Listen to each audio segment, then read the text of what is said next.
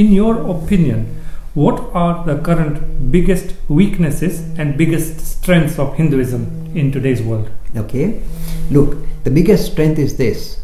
We are the only tradition, perhaps I can say, which can claim itself to be a living tradition. Others are stuck in a way with ancient prophets, ancient mystics, old religions. I'm being very frank. I'm not trying to undermine others, but we are so, this is the biggest positive thing we possess. We are a live religion. And again, where does this liveness stop? Say, oh, I, I'm, for example, fixed on Vivekananda, love Vivekananda. Okay, do you think it stops there? No. This is the ongoing journey.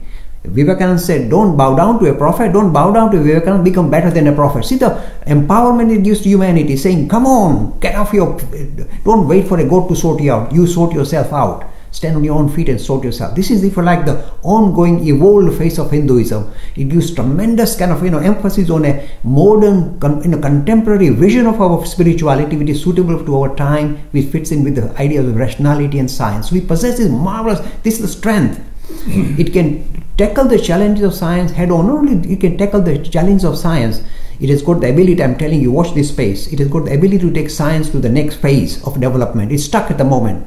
Theoretical physics is stuck in a cul-de-sac. It doesn't know where to go because mm. of quantum and consciousness. It doesn't mm. know where to go. It's just throwing in the towel, saying the world is you know breaking up into infinite copies and all that nonsense. So the modern physics is now struggling. So this is the strength we come from a tradition. Look, I'm, I'm really pulling, you know, lifting my collars up. We come from a tradition that has got the power of taking science into the next phase of its development. We possess. This is the strength. We are a live religion, very evolving religion, and you've got the ability to take science forward. Forget about being frightened of science. We can take science forward. Challenge. I'm telling you because I do this. Okay, this is the strength. What's the weakness? I already said.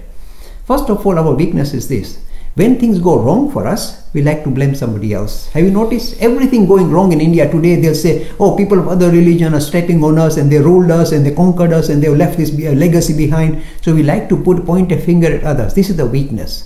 Instead of taking the blame on ourselves and something must have gone wrong in our system that these other people could walk in and step all over us and destroy our dignity and so on, instead of taking the blame, sir, something was wrong with how can somebody you know step on my dignity or my country's dignity? Instead of taking the blame on ourselves, we blame others. This is the sign of a weakness. This is the greatest weakness of modern Hindus. They can't accept that they have serious issues within their own system, which has made them weak and vulnerable. So they try to just keep blaming others you know, vilifying others. That won't help you. Strengthen yourself. Forget about vilifying other religions or other traditions. Strengthen yourself and stand up. Hmm. Look, this is what is happening. I see the stirring up in modern India, and I'm, I'm praying this will continue for the 20, 30, 10, 20 years, and India will be a different world it is very possible and very likely that in the very near future, Nishitbha, in our lifetime, we hope we both live long mm-hmm. lives, we will see a change in India, a dramatic change in India, where it will refocus its emphasis not on this kind of secular motivations, mm. you know, commercial motivation and it will refocus attention on spiritual dimension, on this kind of the, the important thing that we already possess. That's the backbone of that nation for thousands of years. We need to re-emphasize the, the, the spiritual, you know, uh, underpinning to uh, the current that we actually already have. We need to plug into that current, and you see the difference. India will rise up like nobody's business. This is my personal.